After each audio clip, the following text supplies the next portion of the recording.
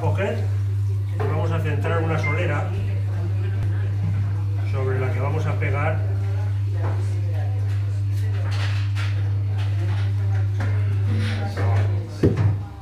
Primero ponemos la solera, la fijamos. Y ahora primero vamos a hacer una boquilla y una bocina hacer la trompeta celtibérica de Numancia.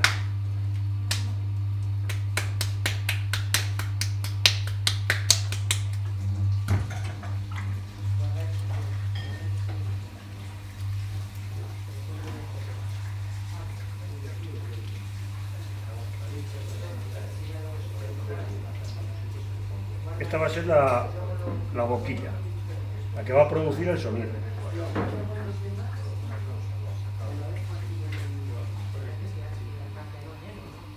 De esta parte de arriba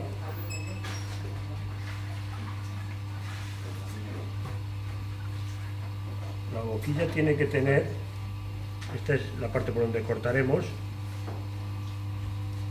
tiene que tener un estrechamiento que es donde se produce el sonido. Tiene un poquito de cazoleta donde van a vibrar, los labios y un agujero estrechito por donde va a pasar. Esta es la cazoleta y este es el tubo que cortaremos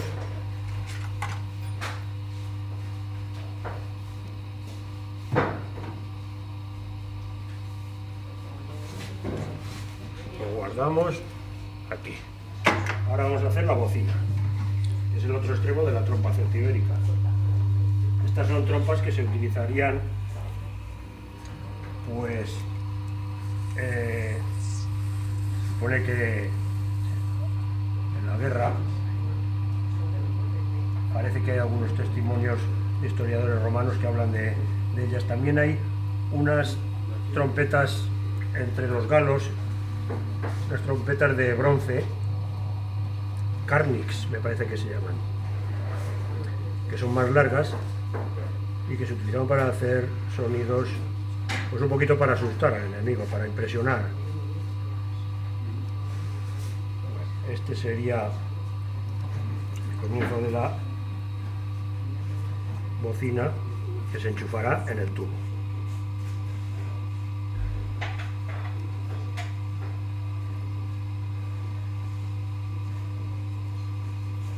Conviene que tenga un borde regruesado porque ahí es donde apoyará casi todo el peso de la trompeta, la trompa.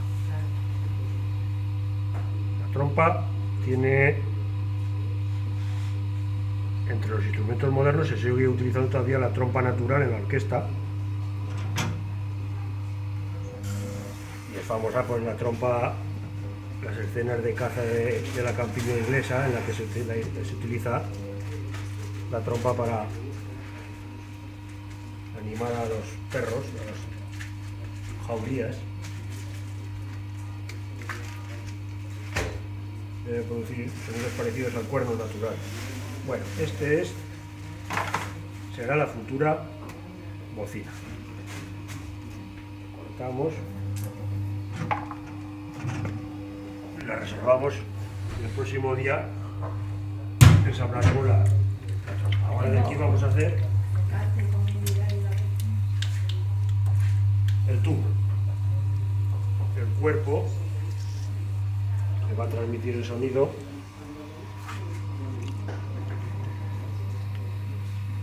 Que se hace como parece que algunos eh, que los arqueólogos dicen que se hacía con planchas.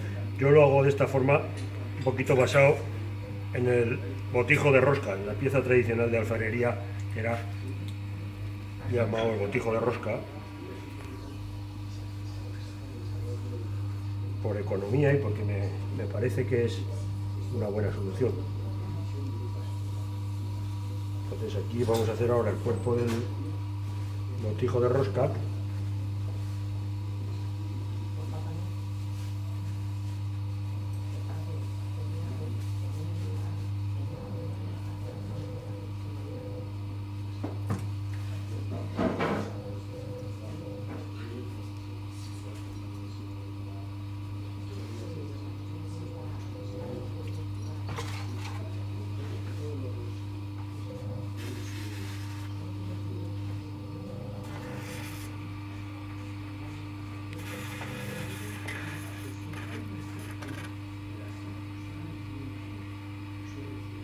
Repasamos la pared con la chapa y vamos ahora a preparar la curvatura y el ensamblaje con la pieza interior.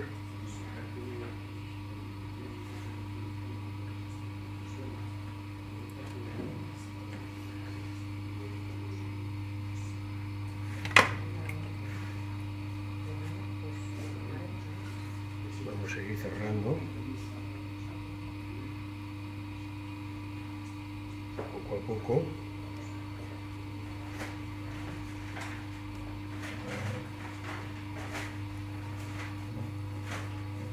hasta que se solapen los dos extremos. Y ahora repasamos. Vamos a limpiar esto un poquito.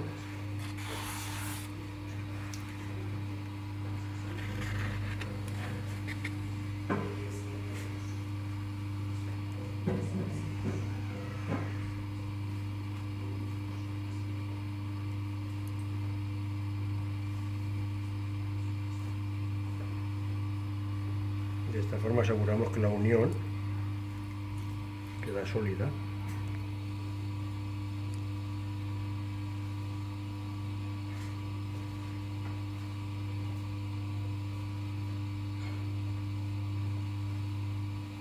Y el próximo día uniremos todas las piezas y las ensamblaremos.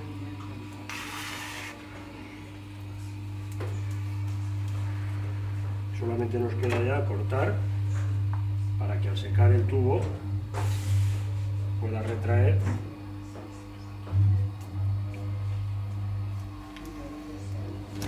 Cortamos la solera también para poder quitarlo. Tenemos ya preparadas todas las piezas que componen. Y lo guardamos para que se seque despacio